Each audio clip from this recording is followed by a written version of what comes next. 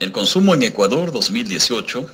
Los clientes esperan muchas cosas de las empresas. Expertos y nacionales e internacionales se reunirán para analizar las tendencias de marketing y consumo en busca de soluciones para el mercado regional en el 17 Congreso Anual de Marketing a realizarse del 12 y 13 de julio en Lima, Perú. En América Latina hay más de 450 millones de usuarios móviles y los celulares se han vuelto la nueva vitrina de las marcas, según la GSM Internacional. El entorno de ventas, marketing y necesidades de los ecuatorianos está cambiando rápidamente. Las empresas deben innovar en sus estructuras para mantenerse competitivas. Es por ello que el 17 Congreso Anual de Marketing organizado por Seminarium Perú y la Asociación Nacional de Anunciantes se llevará efecto el 12 y 13 de julio en el Hotel Westin de Lima, Perú, que ofrece la oportunidad de intercambiar experiencias y mejores prácticas entre líderes locales e internacionales, donde se pondrá en agenda dos temas eh, claves y las nuevas tendencias que se están revolucionando la gestión del marketing a nivel mundial.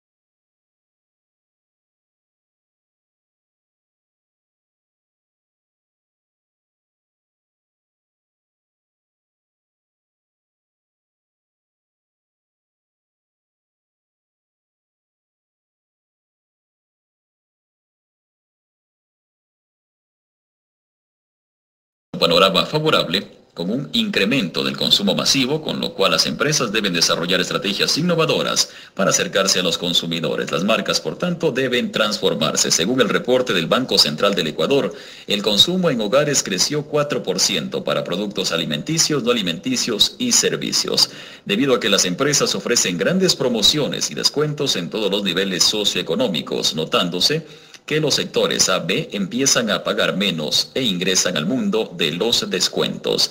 Se destaca tendencias del consumo importantes para 2018 de acuerdo a Cantar World uh, Panel. La primera es que el cliente moderno apostará por productos de marca reconocida buscando familiaridad y calidad. Y la segunda es que se divisa una fuerte tendencia por el consumo saludable que genera cerca de 69.900 millones de dólares en la región.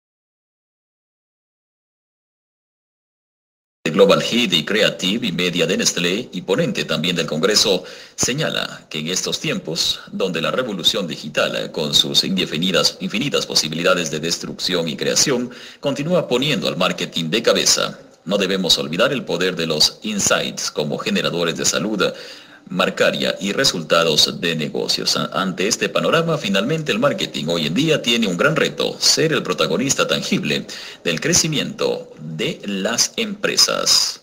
En Argentina se anuncia